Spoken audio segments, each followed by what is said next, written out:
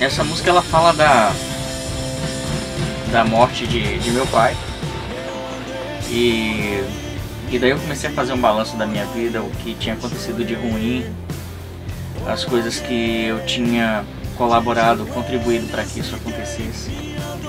E aí dessa forma acabei, sabe, levando esse balanço pra música. Eu andei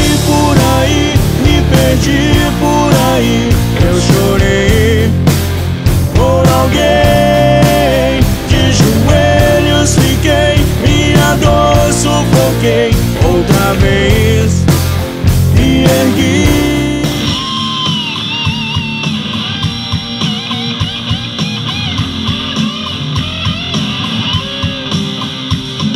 É um profissional que colocou toda, toda a espiritualidade possível no trabalho. Então é um cara que eu costumo dizer que é um dos melhores produtores hoje do país.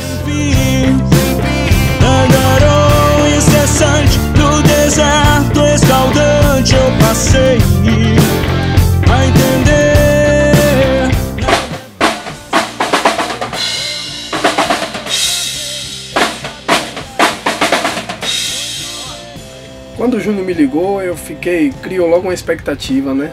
Que com certeza sairia coisas boas, porque Júnior compõe muito bem. E é muito sentimento envolvido nas, nas letras dele. E aí ele chegou aqui no estúdio, a gente sentou, ele viu que ele me, me mostrou um projeto de uma coisa mais acústica e tal.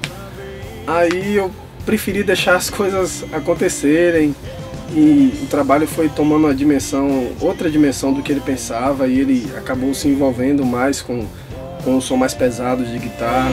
De joelhos fiquei, minha dor sufoquei outra vez. Me ergui.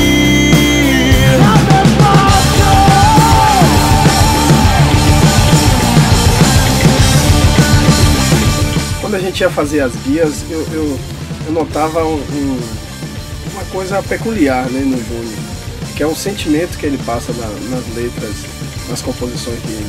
E eu queria trazer isso também em forma de, de música. Por aí, me perdi por aí. Eu chorei